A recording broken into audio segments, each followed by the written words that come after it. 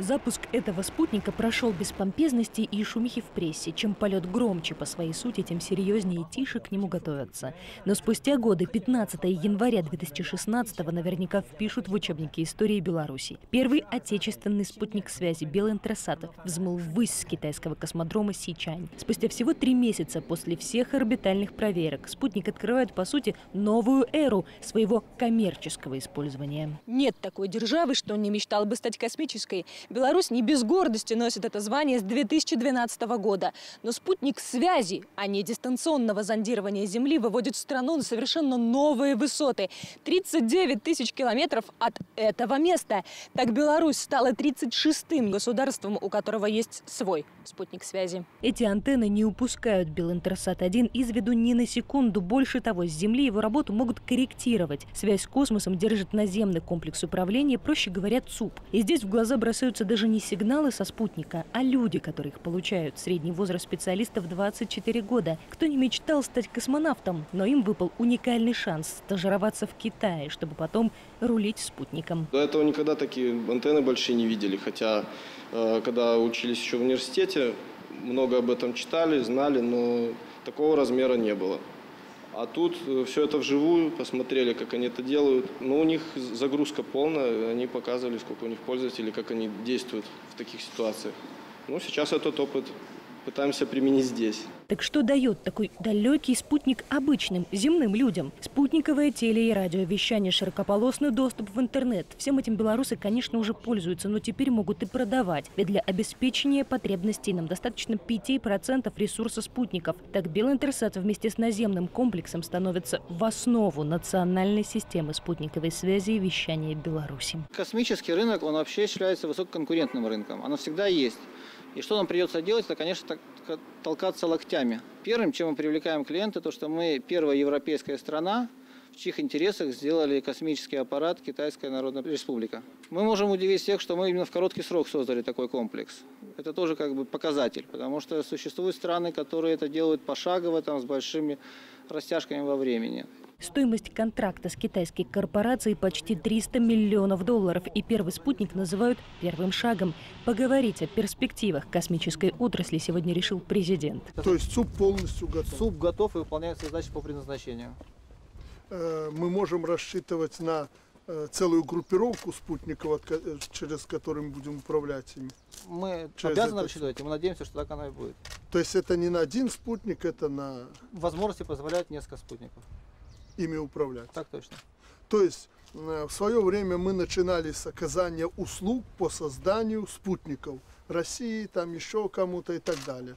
Сейчас мы, ну, естественно, в кооперации, как и МАЗ, БелАЗ и так далее, можем создать эту технику сами. Доставить в космос с помощью кого-то, нам космодромы эти не нужны, спутником мы управляем, продукцию от него мы получаем и продаем. И продаем. То есть это все в наших руках. Право.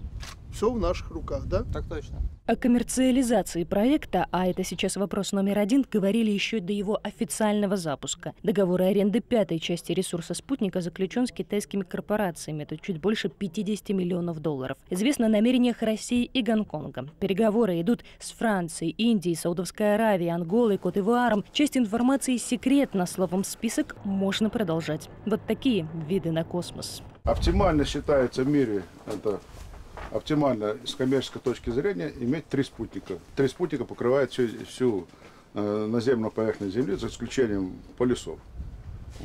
Полагаем, что данная работа, несмотря на трудности, имеет перспективу. Если это нам сегодня надо Конечно, и выгодно, ну, так э, это же государственное дело. Но если это ради того, чтобы только окупить какой-то проект, заставить министров Нет. покупать продукт, то это нам... мы же сами понимаем, что этот проект э, внутри страны не окупаемый, и мы на это даже никогда не рассчитывали. Ну, это понятно. Не было бы рынков, как я на МАЗе говорил, мы бы не строили этот проект, не создавали. А коль есть рынки, неважно, они внутренние или внешние, Э, значит, мы и создавали этот проект, чтобы он окупился, но я еще раз подчеркиваю, если тому или иному министру это надо, и это выгоднее у нас, чем у других, Ну, Так мы его заставим этим заниматься. Точно Что его да, уговаривать? Но спутник связи – дело не только престижа или денег. Информационная безопасность – еще одна составляющая, ведь это тоже часть обороны страны. Маленький пример на глазах у президента. Кайман – вариант машины связи и сама связь. Пункт управления связью ГЛОСы. Товарищ главнокомандующий, начальник пункта управления связью сил специальных операций вооруженных сил, полковник Юшкевич. Как слышите, разбираете? Получаю и разбираю вас отлично.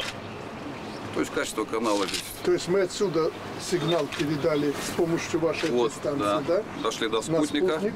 Прошла. Спутника мы передали сигнал И на да, место. передали в колодище. Это со спутника напрямую или опять через вашу станцию?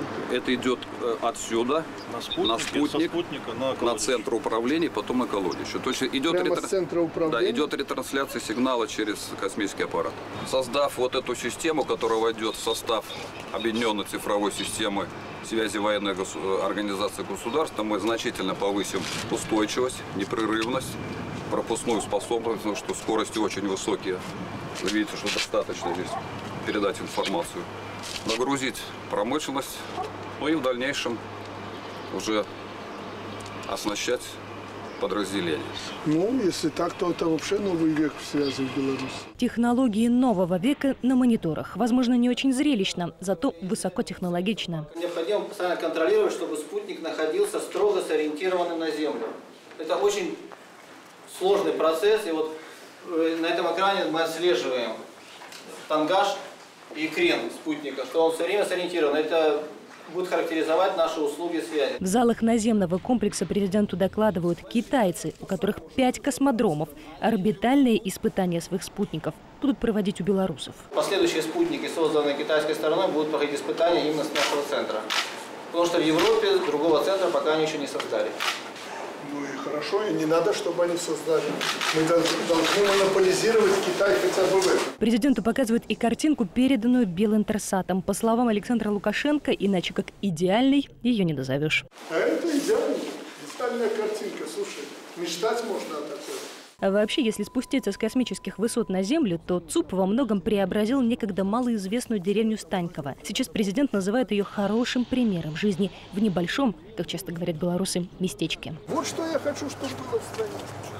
Я ничего больше не хочу. Чтобы вот такая была культура, чтобы вот так были обработаны земли. Ничего лишнего не требую. Но страну надо приводить в порядок, как бы не было трудно. Чисто, красиво, аккуратно, заборчик, не этот э, железобетонный и не сплошной там из металла в 2 метра. Вот, пожалуйста, что мы прячем? Этот дом был когда-то казармой, а сейчас 32 квартиры полностью готовы принять молодых специалистов. Их, к слову, после девятимесячного обучения в Китае переманивали. Сами китайцы пытались и из других стран. Так что, как ни крути, а дорогу в космос прокладывать молодым на государство поддержит. Ради космических высот в образовании и науке. Анна Пыш, Александр Зонов, Сергей Янковский. Наши новости. ОНТ.